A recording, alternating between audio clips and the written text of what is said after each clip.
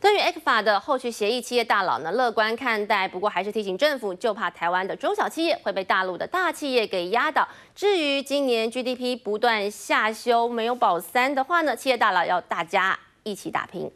台湾出口表现不佳，闷经济让大家忧心。但随着两岸服务贸易协议签署在即，企业界乐观认为台湾经济有机会解闷。假定是以以我们最近两岸的这个有关于呃对 A 股的后续的动作呢，呃会非常的频繁。那当然了，呃这个对我们的一个。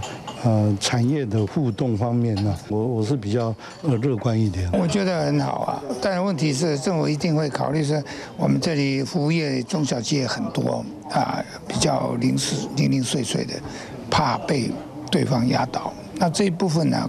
稍微稍微是注意一下。不过，对于今年 GDP 成长率能否保三，企业大佬说，大家还是要拼啦，努力嘛，大家共同来努力啊。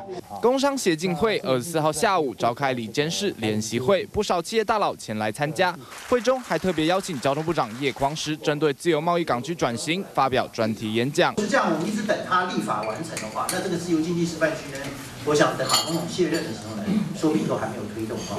那这又是他的第二任。总统选举的重要政见的，所以我们就觉得说，那是不是呢？先就现有已经做的自由贸易港区呢，哈，来呢怎么样的呢？可以呢，再加强行政协调。叶光石推自由贸易港区转型，希望把台湾打造成自由贸易岛。但企业大佬们反映，政府政策没有单一窗口，有疑问时不知该找谁沟通协调。政府应建立单一窗口，才能加速经济发展。于 D N TV 陈希文图佑任台北报道。